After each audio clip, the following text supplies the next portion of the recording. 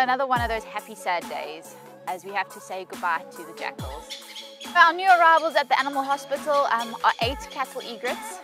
He is a feisty little one month old warthog.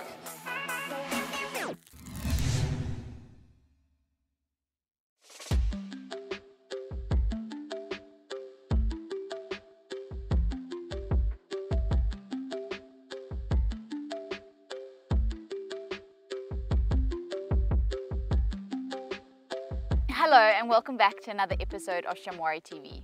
Today is another one of those happy sad days as we have to say goodbye to the jackals.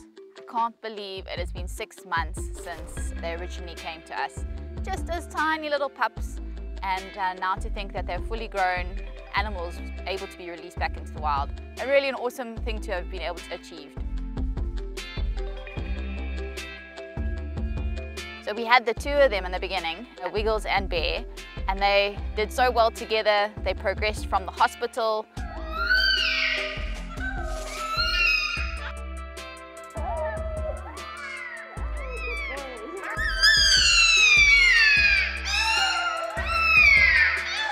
We moved them up to another enclosure here at the animal hospital where their natural instincts kicked in, where they became wilder. I also distanced myself from them a bit just so that we could have that um, separation of human contact. Boys,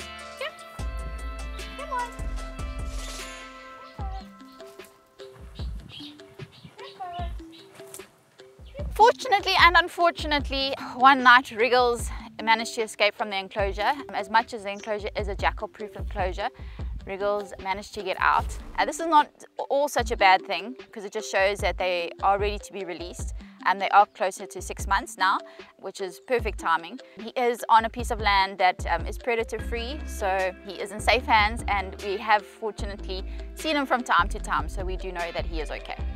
But today we are taking Bear to a place on the reserve. We try and release our animals next to a water source just so that they do know where to find water. We're taking him to a place where we can release him, where we know the lions aren't around either. And yeah, hopefully he can live a happy life in the bush.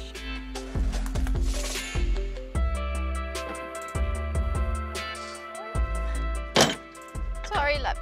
Eh, it's okay, mate. Right, let's get going.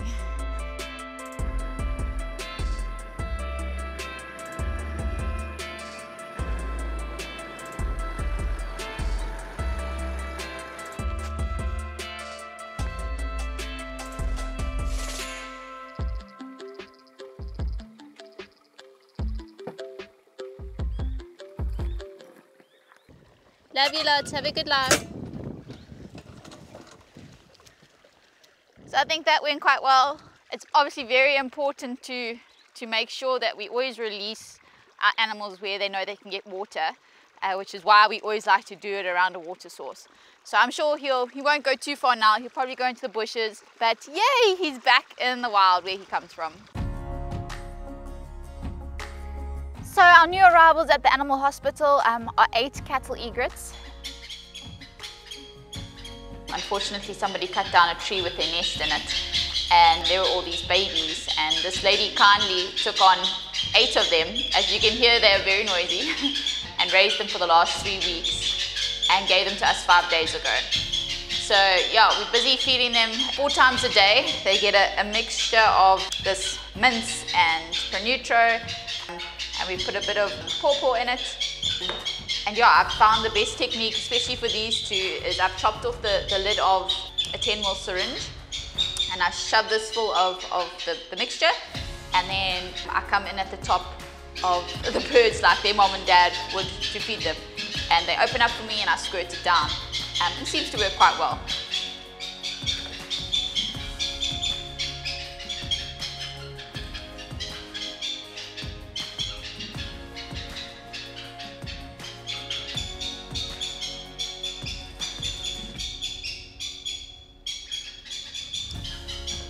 Right. Hey, are you guys ready? Are you hungry? Yeah. This goes very quickly. okay, good job. One, two, good job.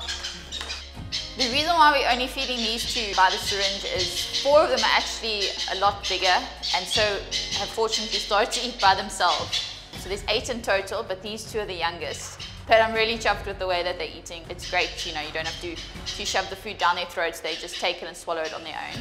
The, the biggest challenge obviously is trying to mimic what they eat in the wild versus what we can feed them. So generally in the wild you'll find these, the reason why they're called cattle egrets is you generally find them with cattle and they go around and they eat the insects as the cattle walk in the grass. In the wild on game reserves you would often find these cattle egrets with buffalo and sometimes also with rhino.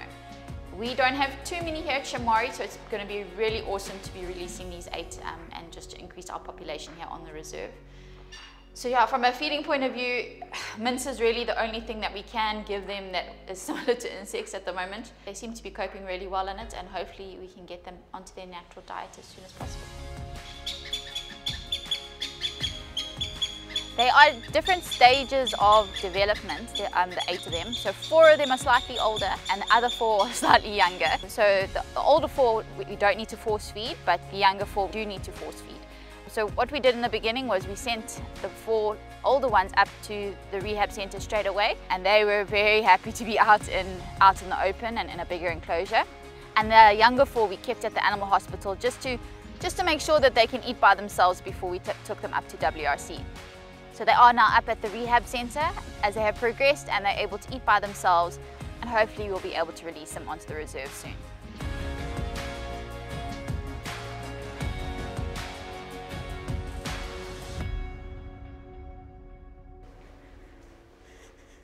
Hey!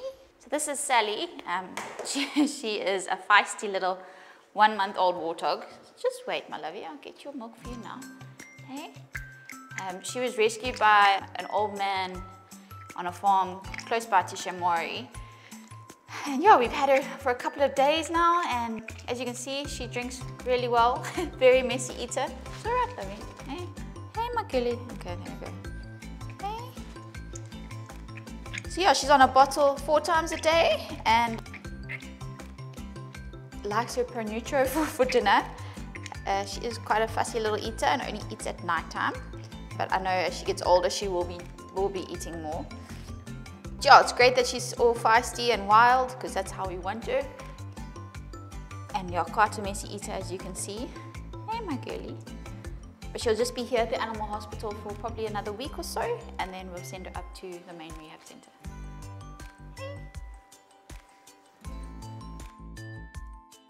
Unfortunately, the drought is still persisting and we've received another baby hippo into the rehab centre. Wilson joined the, the little pod of hippos that we have at the rehab centre about three weeks ago now.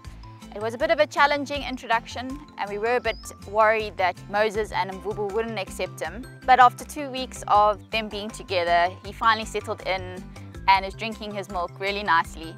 It's not such a bad thing because hippos in the wild are generally in pods, so we're hoping that this bond that they formed here in the rehab centre, once we release them, they'll stick together on the reserve. Hello everyone, I'm vet nurse Megan from Shamwari Private Game Reserve. Thank you for watching another episode of Shamwari TV with us. Please don't forget to subscribe to the channel, hit the like button and follow us for some more amazing episodes.